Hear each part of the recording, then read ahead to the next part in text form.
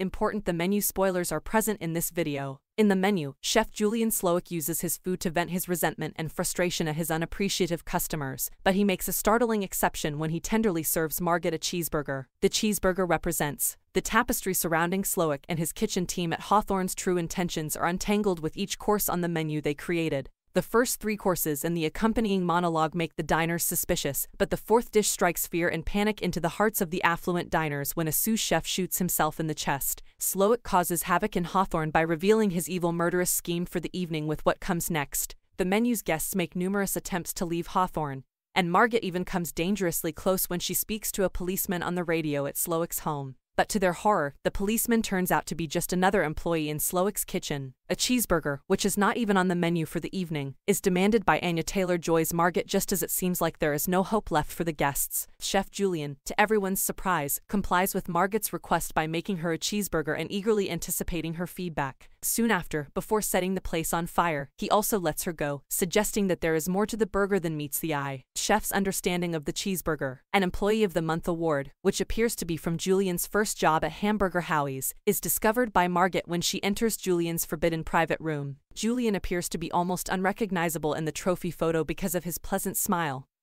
and his upbeat, carefree demeanor. Since the trophy reveals that the chef had modest beginnings in the culinary world, it becomes the last piece of the puzzle pertaining to Slowik's motivations. The menu's protagonist, played by Ralph Fiennes, developed steadily as a chef over time and eventually got the chance to serve the aristocracy. Making hamburgers for customers at Hamburger Howie's was initially a fulfilling and passionate pursuit, but when he began serving the wealthy, things took a dark turn. This is revealed by Slowik in the menu, who reveals that his wealthy patrons come to Hawthorn only to brag about their social standing and have no interest in food. Lillian gives her food mindless metaphors but doesn't care much about the livelihood of the industry's workers, while Richard and his wife only eat there because they have nothing better to do with their money. Although Bryce and his finance friends appear to have no knowledge of the culinary arts, they still have the gall to threaten Slowik and his staff. On the other hand, Slowik's inability to remain true to his art just ends up being a frustrating reflection in John Leguizamo's movie Star. The worst part is that Tyler reveals himself to be an egotistical social media foodie who denigrates chef's food by naming every ingredient without appreciating the work that goes into its preparation. In the end, Margaret agrees with the chef and discovers that he longs for the satisfaction of his early culinary endeavors. Towards the end of the menu, she makes the connection and orders a straightforward cheeseburger because she realizes that it would bring Chef Slowik back to the days when he actually enjoyed cooking.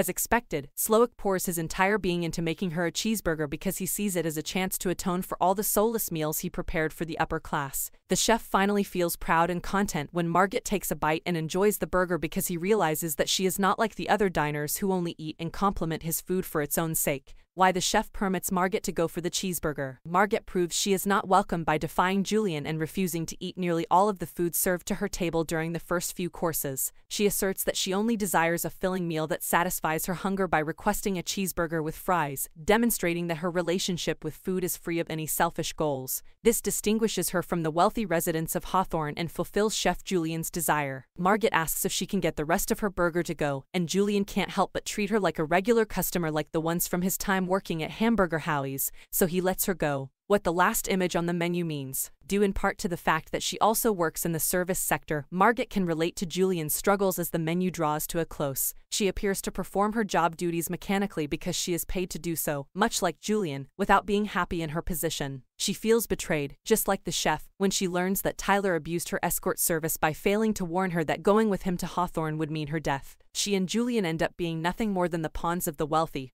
who never offer anything in exchange for their services. Margaret helps Julian accomplish the same by ordering a cheeseburger while she reconnects with the give and take nature of every service. The final frame of the menu perfectly illustrates this by showcasing Anya Taylor-Joy's character savoring each bite of the cheeseburger while watching Hawthorn burn to the ground. In the final scene of the menu, Margaret, like Julian, finds a long-forgotten sense of contentment, which the hamburger represents. Thank you for watching. Please like and subscribe and support my channel.